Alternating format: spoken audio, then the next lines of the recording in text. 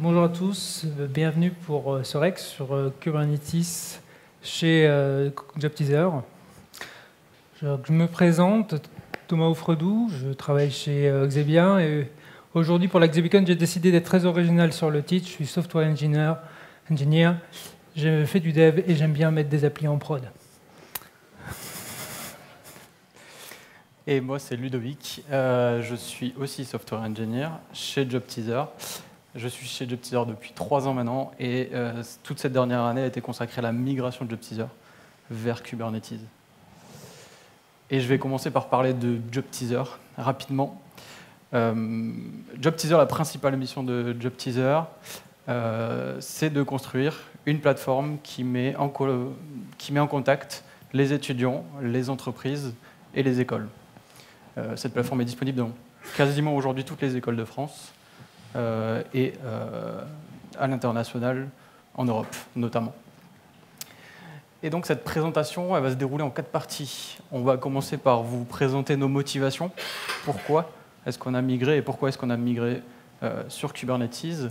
On passera ensuite aux outils qu'on a utilisés pour déployer et industrialiser le cluster. On passera euh, une petite partie euh, sur euh, le packaging des applications et comment est-ce qu'on a déployé nos applications sur, sur, sur, le cluster. Et on terminera par la dernière ligne droite, from dev to production. Et je commence tout de suite par nos motivations. Qu'est-ce qui nous a poussé à migrer? On a retenu trois arguments principaux. Le premier, c'est l'agilité des équipes de développement. Jusqu'à la migration, on était chez un, chez un infogérant, euh, donc sur des serveurs on-premise, infogérés par, euh, par un partenaire. Euh, on a rencontré deux problèmes. Le premier, c'est que la vélocité de nos équipes de développement, qui était en assez grosse croissance, était plus importante que la vélocité de notre infogérant pour la mise en production de nouveaux projets. Donc l'infogérant commence à devenir un goulot d'étranglement pour le déploiement de nos, nouvelles applications. Le deuxième problème, c'est que pour déployer ces nouvelles applications, euh, on a fait le choix d'utiliser euh, d'autres technologies que notre infogérant ne souhaitait pas infogérer, on n'avait pas la compétence pour infogérer. Je pense à Docker, je pense à Postgre, euh, je pense à d'autres langages applicatifs que Ruby, qui est notre langage principal. Le deuxième, euh, le deuxième argument qu'on a retenu, c'est ce qu'on a appelé l'ownership des équipes de développement. Euh, notre objectif, c'était de rendre la légitimité aux équipes de développement de contribuer et d'utiliser la plateforme. Euh, au fond, ce qu'on souhaitait, c'était leur donner un moyen, ou plutôt leur insuffler la responsabilité de déployer une application, enfin de construire une application exploitable sur la plateforme. C'est un peu le mantra You build it, you run it. Euh, avec notre infogérant, cette partie-là était très difficile à insuffler à nos équipes. Avec cette nouvelle euh, infrastructure, c'est plus facile. Le troisième point qu'on a retenu, c'est la rationalisation de nos infrastructures. On avait jusqu'à la migration trois types d'infrastructures. Une infrastructure on-premise infogérée, une infrastructure on-premise non infogérée, et une partie sur le cloud, notamment toute notre stack data.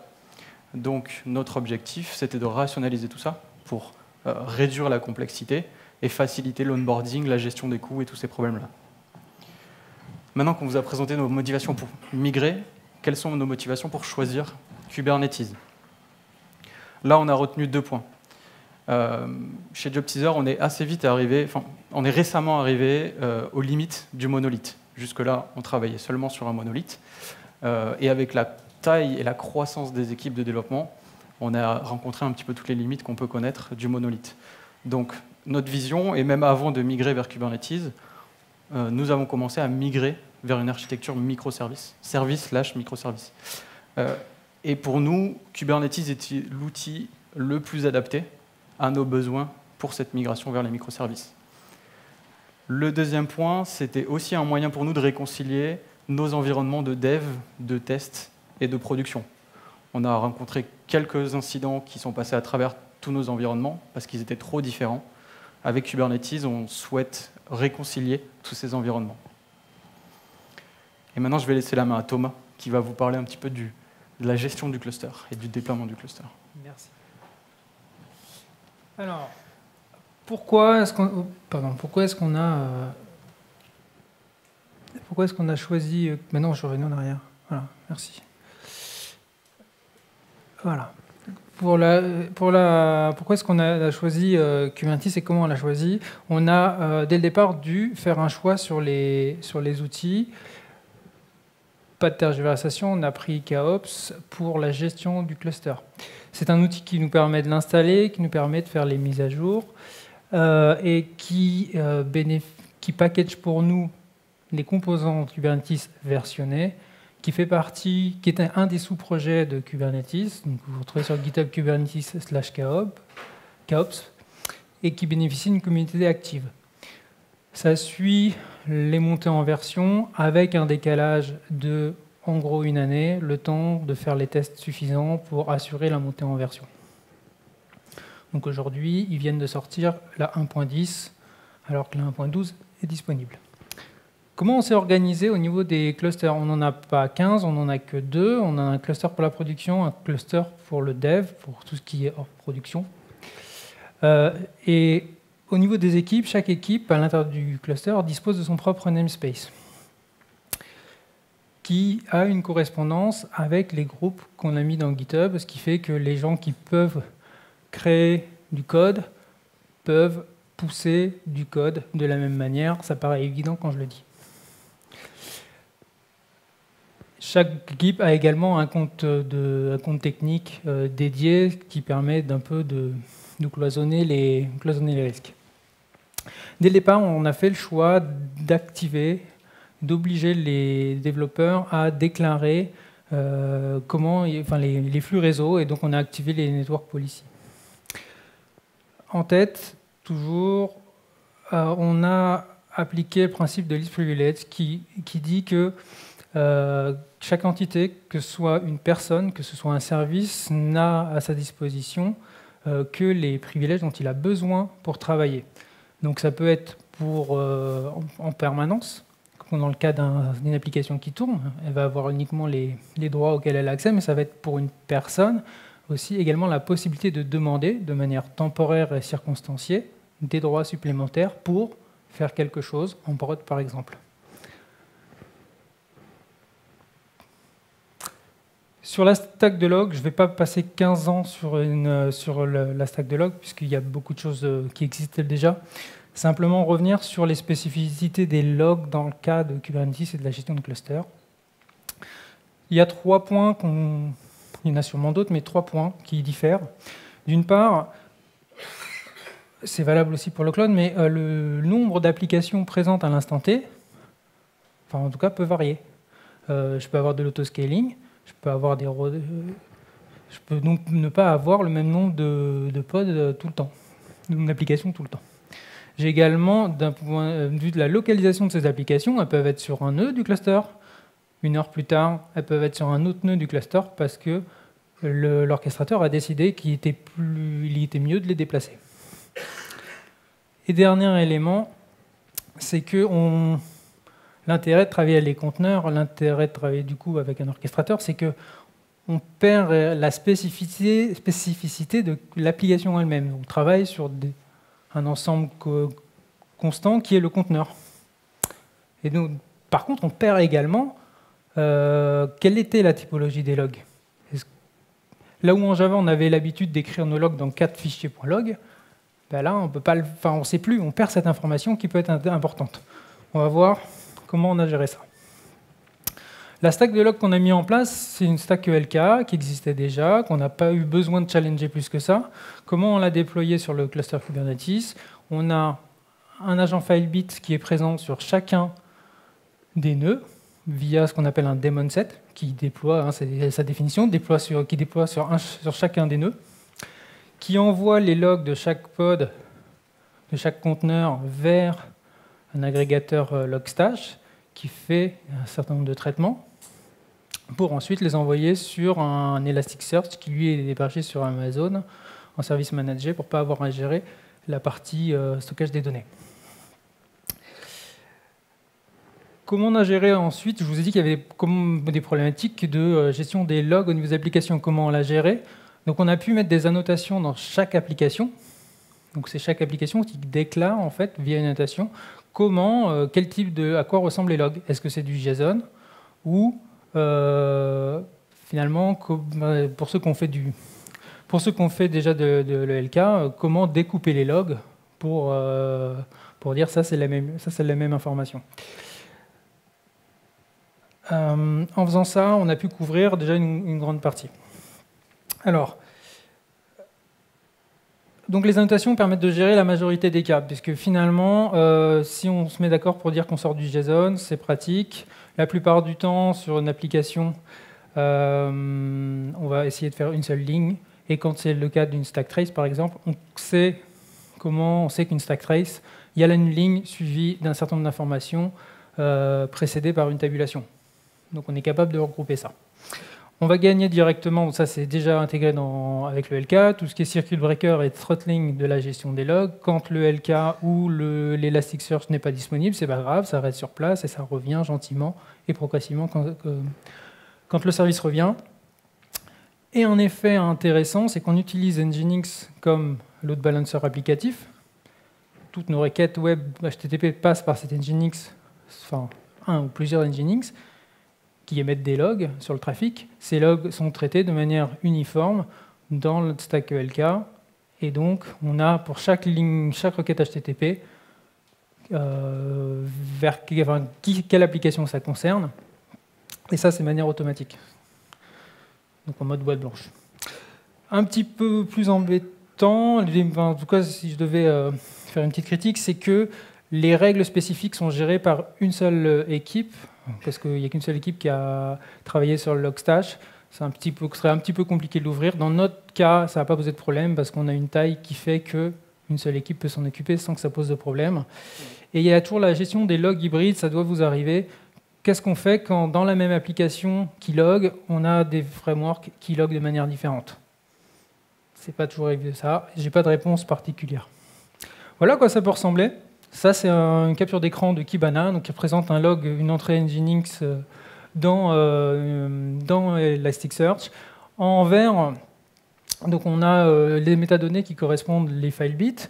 En rouge, on va retrouver ce qui concerne Kubernetes, notamment très important, les labels qu'on va poser sur nos pods, vont remonter là-dessus. Donc pour traiter les logs, c'est très important. En marron, un petit peu au-dessus, donc j'ai sauté, on va retrouver des informations euh, qui concerne l'application. Donc ici, ça a été parsé parce que l'application était en JSON et qu'elle a dit qu'elle était en JSON. Donc on retrouve ces informations également. Et en bleu, les, les métadonnées concernant Amazon, puisqu'ici on est sur Amazon et qu'on a les métadonnées des nœuds, tout simplement, qui remontent. Donc j'ai parlé d'AWS, j'ai parlé de KOps, on utilise Kubernetes, on utilise aussi Helm, on utilise GitHub.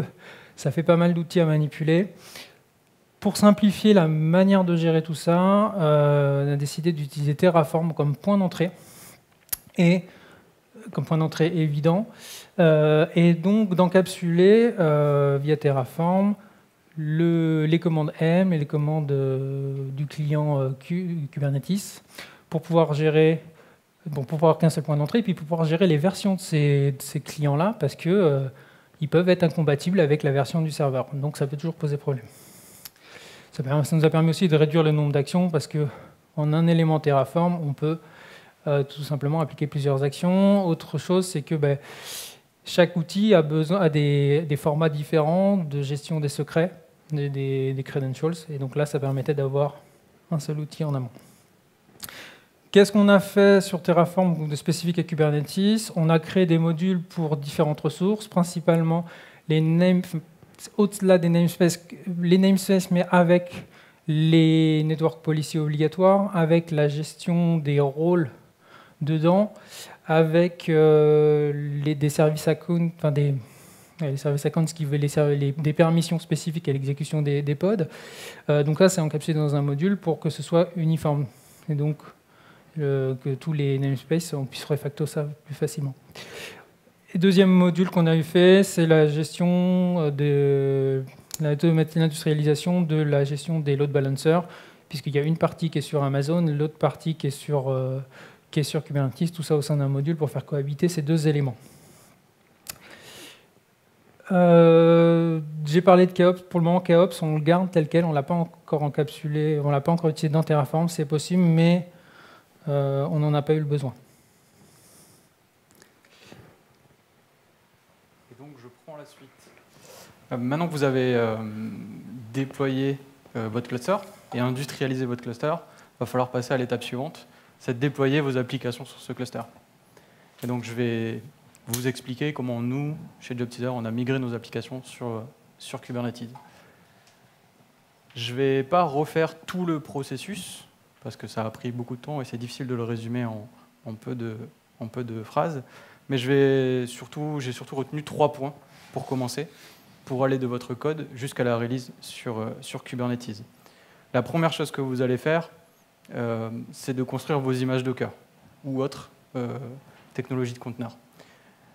Là-dessus, je ne vais pas non plus m'attarder. Vous trouverez pas mal de conseils et de tutos et de documentation, notamment sur le site de, Docker, qui sont assez complets.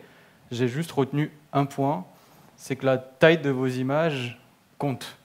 Elle va déterminer le temps de build, elle va déterminer les coûts de gestion de vos images, elle va déterminer la taille du cache en production ou en développement, elle va aussi déterminer le temps de démarrage de vos applications, puisque le téléchargement de l'image fait partie du temps de démarrage de l'application. Donc c'est très important de passer du temps à optimiser la taille de ces images. L'outil principal qu'on a utilisé pour faire ça chez JobTeaser, c'est le multi-stage build euh, de Docker. Pareil, vous trouverez beaucoup de documentation, donc je vais juste vous donner ce qu'on a réussi à atteindre avec cet outil. On a gagné 50% dans la taille de nos images. On est passé d'images de, 2 Go avec toutes nos dépendances à l'intérieur à des images de 900, un peu plus de 900 mégas, ce qui est encore de grosses images pour, pour une application euh, à déployer sur Kubernetes. La deuxième étape, euh, ça va être l'étape de configuration. Assez rapidement, on s'est retourné et on a mis en place euh, les pratiques du 12 Factor App Manifest. Pourquoi? Parce qu'elles étaient adaptées déjà à notre façon de travailler à l'avance et elles sont déjà décrites et du coup c'est facile d'y faire référence pour l'onboarding ou pour, ou pour la validation des choix qu'on fait. J'ai retenu deux points sur la partie configuration. Euh, utiliser les variables d'env. C'est vraiment beaucoup plus simple d'utiliser les variables d'env pour configurer votre application. Euh, c'est un concept qui est disponible dans tous les langages, ou quasiment tous les langages si je ne veux pas trop avancer, sur Docker et sur Kubernetes, à travers les secrets et les config maps. Donc c'est très pratique et ça s'utilise très facilement. Le deuxième point, c'est un peu aussi, je rattache un peu à ce qu'a dit Thomas euh, sur, sur les logs, c'est vous allez devoir loguer sur stdout. C'est le standard Docker, c'est du coup le standard aussi dans Kubernetes. Ça vous facilitera la vie pour euh, collecter vos logs. Et encore une fois, si possible, le plus possible en JSON.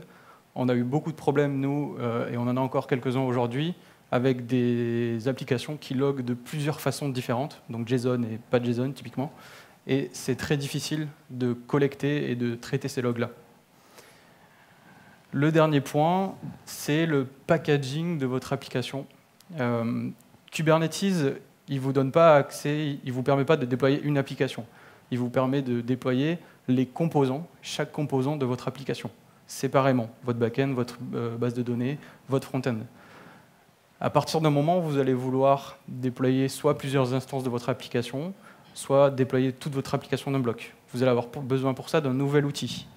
Euh, il y a plusieurs outils disponibles. Nous, on s'est retourné tout de suite vers l'outil le plus utilisé et le plus reconnu par la, communauté, c'est Helm. Helm, il va vous permettre de créer des charts euh, qui sont en fait des packages de manifestes Kubernetes rassemblés sous le même bloc. Et ensuite, il va vous permettre de gérer le life cycle de votre, enfin, le cycle de vie de votre application, pardon, euh, en relisant cette application et en gérant aussi le rollback. Notre retour sur Helm, je l'ai écrit ici, c'est que c'est un mal nécessaire. Vous allez avoir besoin de faire ça. Euh, pourquoi est-ce que c'est un mal? Parce qu'on a eu pas mal de soucis euh, en phase de développement, notamment, où c'est très difficile de débugger les, les outputs du, du, validateur de Helm. Et le deuxième point, c'est aussi très difficile d'onboarder les équipes sur Helm et Kubernetes à la fois. Donc il faut essayer dans votre onboarding de prendre le temps de leur faire comprendre Kubernetes puis de leur expliquer pourquoi on utilise Helm. Ça reste un outil indispensable, il en existe d'autres, euh, je donne des noms comme ça, vous pouvez utiliser euh, Cassonnet, Euh, j'ai oublié les autres. Cassonnette. Retenez Cassonnette. Maintenant que vous avez euh, créé les manifestes pour déployer votre application, il y a deux, trois astuces ou deux, trois points très importants de configuration que j'ai envie de vous présenter. Le premier, c'est comment orchestrer votre déploiement. Par orchestrer le déploiement, j'entends exécuter du code avant le déploiement de votre application. Vous allez utiliser ça euh, souvent pour migrer des schémas, générer des assets, uploader des assets vers votre CDN, etc., etc. Vous allez de toute façon avoir besoin de faire ça à un moment ou l'autre avec vos applications. Le premier outil, c'est celui qu'on utilise encore aujourd'hui chez JobTeaser, euh, c'est les init conteneurs. Les init conteneurs, c'est euh, Kubernetes qui vous fournit cet outil pour exécuter de façon séquentielle euh, n'importe quel code avant le déploiement d'un conteneur. La problématique de cet outil, qu'on a nous encore aujourd'hui, c'est que vous allez souvent déployer plusieurs réplicas du même conteneur. Et pour chacun des conteneurs, l'exécution séquentielle de init conteneur va être exécutée. Ça peut poser des problèmes. On a rencontré des problèmes comme ça euh, assez récemment notamment, où ça va créer des race conditions. Donc ça va essayer d'exécuter plusieurs fois les migrations, notamment de schémas, et ça peut bloquer les migrations de schémas. Donc c'est pour ça qu'il existe ces deux autres outils que je voulais vous présenter. Le deuxième, c'est le stateful set. Euh, pour faire rapide, euh, pour faire vite, c'est un, une autre façon d'orchestrer euh, et d'exécuter du code séquentiellement dans Kubernetes, sauf que au lieu d'exécuter ça avant chaque pod, avant chaque conteneur, pardon, on va déployer des conteneurs dans l'ordre pour exécuter chaque étape de notre déploiement. Et l'application sera ensuite déployée avec tous ces réplicas à la fin. Donc ça sera exécuté qu'une seule fois. Euh, le dernier outil, c'est un peu l'artillerie lourde. Euh, mais qui commence à être pas mal utilisé par euh, quelques entreprises, notamment CoreOS pour etcd, Confluent pour Kafka ou, ou je ne sais plus qui pour Postgre. ce dernier outil, c'est l'opérateur. L'opérateur, en fait, vous allez étendre l'API de Kubernetes pour y intégrer votre application. Donc vous allez écrire du code pour expliquer à Kubernetes comment déployer votre application. Et ainsi, vous allez pouvoir exécuter, encore une fois, n'importe quelle instruction de code avant de déployer votre application. Maintenant que vous avez orchestré votre déploiement, deuxième, euh, deuxième point assez intéressant et très important à, traiter. Pour s'assurer que votre application est prête à servir du trafic, Kubernetes vous offre deux outils, la Liveness Probe et la Readiness Probe.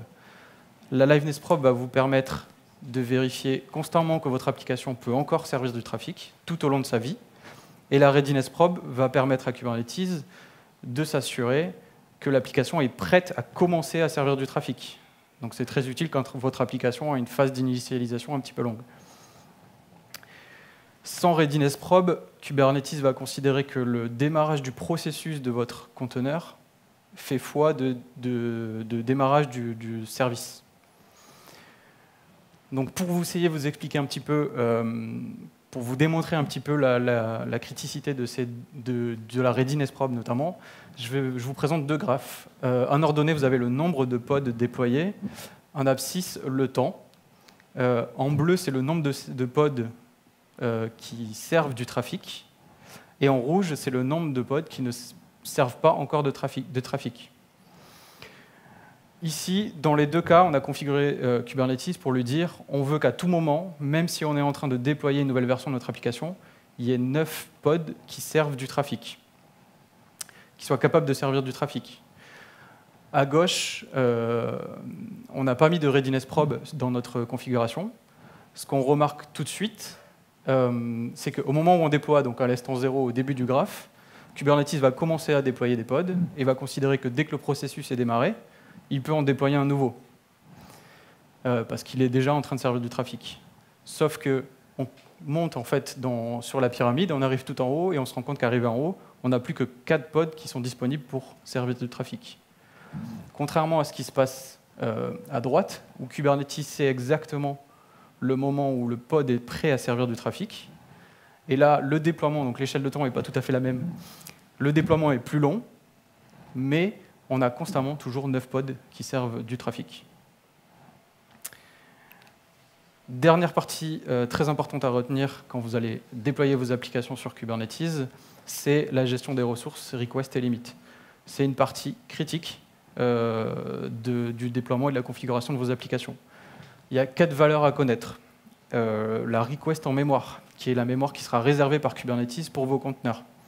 La limite en mémoire, qui sera la limite à partir de laquelle votre conteneur sera tué par Kubernetes, la euh, request en CPU, qui sera euh, la partie réservée de CPU euh, par Kubernetes pour votre conteneur, et la limite en CPU, qui sera la limite à partir de laquelle votre conteneur sera bridé par Kubernetes en consommation de CPU.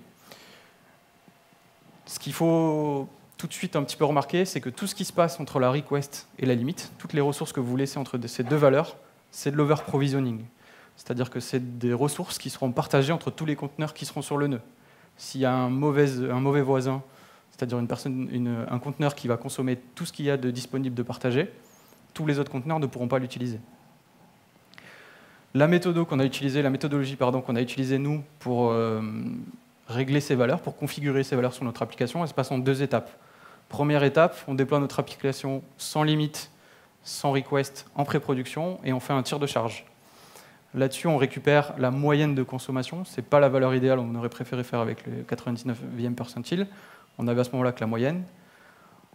On récupère la moyenne de consommation de mémoire et de CPU. On ajoute un facteur sur ces deux valeurs-là pour se laisser un petit peu de marge. Et on déploie notre application avec ces valeurs. Ensuite, deuxième étape, on se, met à disposition des graphes de ce type-là euh, sur votre stack de monitoring, qui sont du coup en bleu, en moyenne, la consommation ici mémoire. En violet, la request euh, pour vos pods, enfin pour vos conteneurs, pardon. Et en jaune, la limite. Et ensuite, petit à petit, on affine les valeurs euh, en regardant, en revenant régulièrement vers ces graphiques pour voir si on continue à passer au-dessus de la request. Euh, l'objectif, c'est qu'on passe très peu souvent, le moins de temps possible, au-dessus de la request ça va un petit peu dépendre des typologies d'applications. Il y a certaines applications qui nécessitent du burst, et c'est là qu'il faudra plutôt prendre du temps à régler la limite que la request. Maintenant que vous avez packagé votre application, vous allez bah, la déployer en production.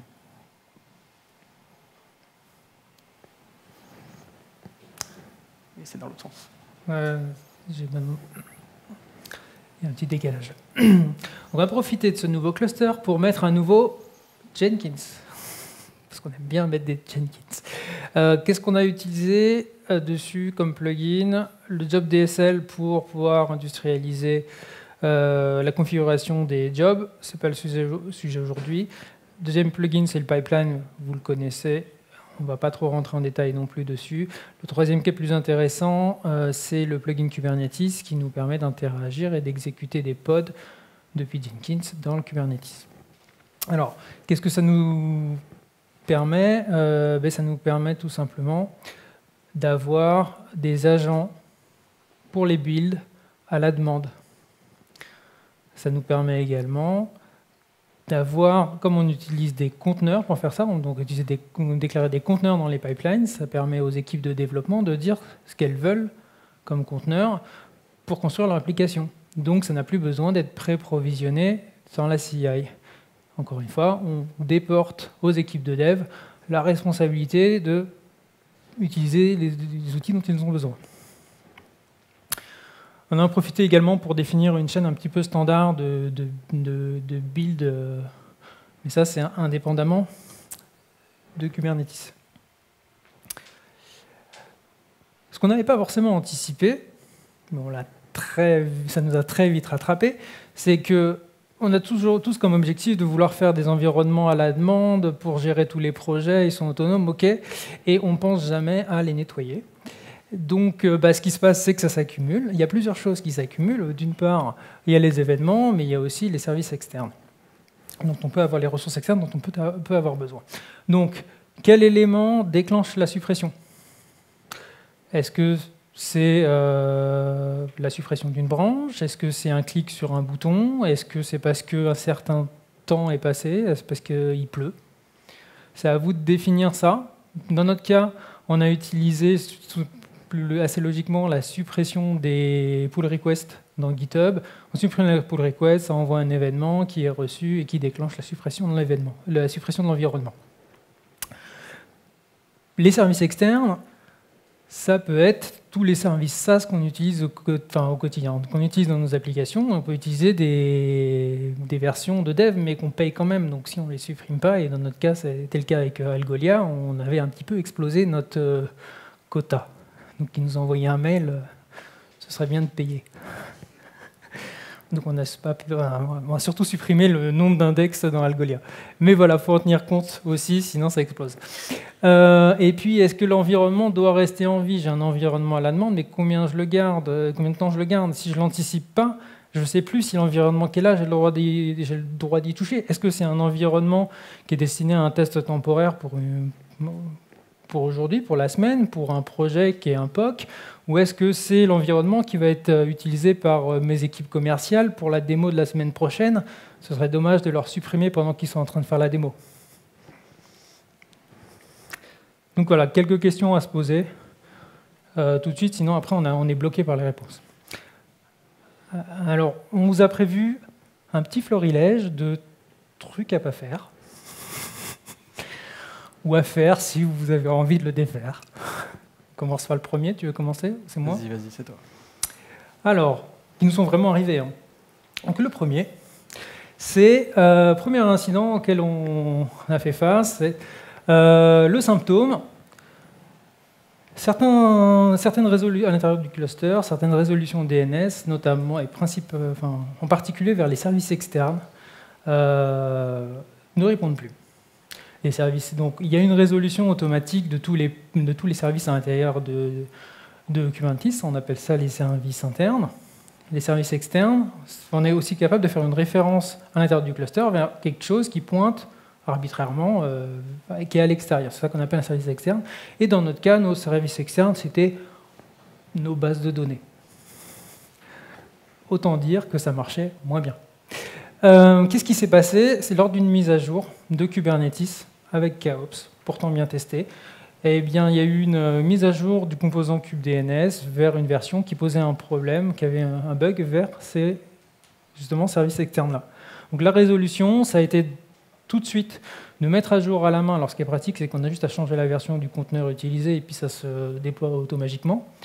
Euh, et ensuite d'attendre que KOps release une version pour revenir dans euh, la, version stable de, de la gestion du cluster.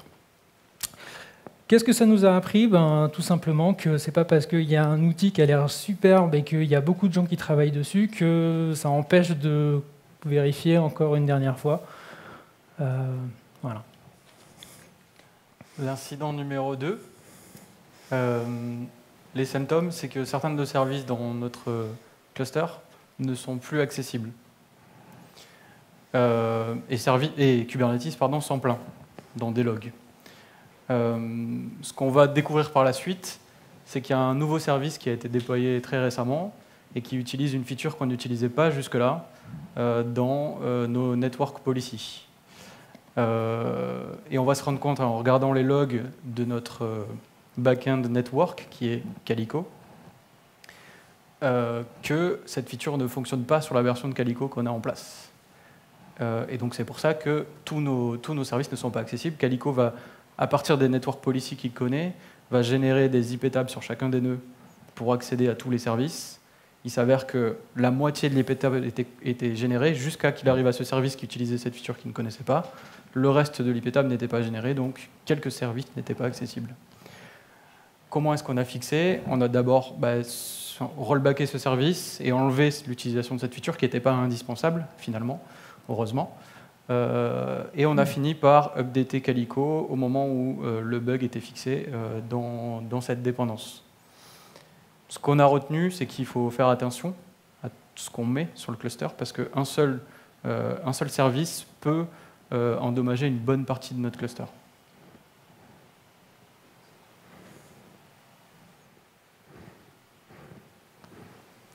Mais bon.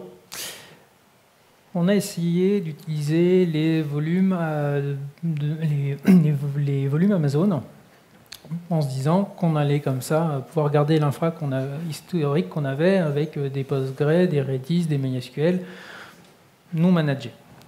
Ça marchait très bien, on pouvait très bien continuer à le faire nous-mêmes. Donc qu'est-ce qui s'est passé? Euh, bah, Il y a des volumes qui ne s'attachent pas aux pods quand ils se déploient. C'est ce qu'on observe dans les logs de, lancement des pods. On voit explicitement qu'ils n'arrivent pas à s'attacher. Alors, qu'est-ce qui se passe? C'est tout simplement, euh, du point de vue d'Amazon, il est encore attaché ailleurs, et donc il n'arrive pas à se détacher de l'ancien nœud sur lequel il est. Pour le reste, c'est un service Amazon, donc on ne sait pas tout. Euh, bah, là, ça a été assez simple hein, pour nous. Ça a été, on n'utilise pas les EBS. Tout simplement, on a, ça, a réglé une bonne, en tout cas pour un moment encore. Est-ce qu'on gère nos bases de données nous-mêmes dans un cluster Kubernetes? La réponse pour nous sur Amazon est non. Parce que c'est trop. En fait, ça finit par revenir au bout de 5 minutes, 10 minutes, une demi-heure. Pour une base de données, c'est un peu problématique d'être comme ça. Euh, coincé pendant autant de temps. Euh, qu'est-ce qu'on a appris de ça? Ben, C'est que oui, c'est facile de, déployer. Si vous testez avec un volume, un volume EBS, ça va très bien marcher. Par contre, testez quand même qu'est-ce qui se passe quand je détruis le, je détruis le pod, un peu de chaos monkey. Le quatrième incident qu'on a eu, euh, je vous ai parlé tout à l'heure de ressources, request et limite, et je vous ai un petit peu menti. Parce qu'en fait, on n'a pas commencé par tout de suite euh, utiliser cette méthodologie de euh, affiner nos ressources et nos requests. On a assez vite foncé vers des valeurs euh, et ça a entraîné cet, incident-là. Qu'est-ce qui se passe? Nos nœuds ne, répondent plus et ils sont marqués not ready par le cluster, c'est-à-dire qu'ils sont plus considérés comme dans le cluster et sur le, on ne schedule plus de, de conteneurs dessus. Pourquoi? En cherchant un petit peu sur les nœuds, on se rend compte qu'il y a euh, un load supérieur à 40.